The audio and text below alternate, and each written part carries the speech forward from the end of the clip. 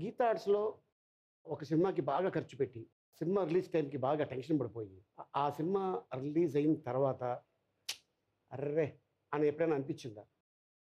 సినిమాకి ముందు మేము అనుకున్న దానికన్నా చాలా ఎక్కువ ఖర్చు పెట్టి సార్.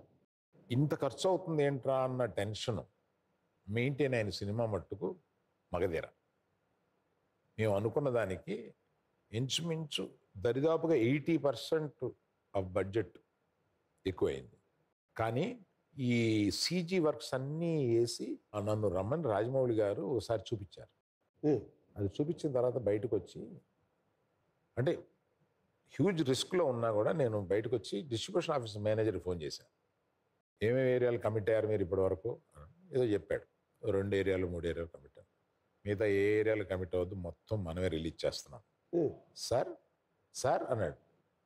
ఈ సినిమాని మొత్తం మనమే రిలీజ్ చేస్తున్నాం. అంటే రిలీజ్కి అన్ని పేమెంట్లు అన్ని మీరు అన్నీ ఆలోచించి సాయంత్రం రా మాట్లాడదాం. ఉమ్, ఈ సినిమాని మనమే రిలీజ్ చేస్తాం. అంటే చూసేటప్పటికి ఆ కాన్ఫిడెన్స్ అలా వచ్చి నా దగ్గర ఉన్న టోటల్ డబ్బును రిస్క్ చేశాను అందులో. ఓకే. దానికి త్రీ టైమ్స్ వచ్చింది. సూపర్. మీ కాన్ఫిడెన్స్కి రిస్క్ కూడా చేయాలమ్మా. ఒక్కోసారి రిస్క్ తప్పదు. ఇంకోసారి రిస్క్ చేశాను. పళ్ళు ఊడిపోయినాయి.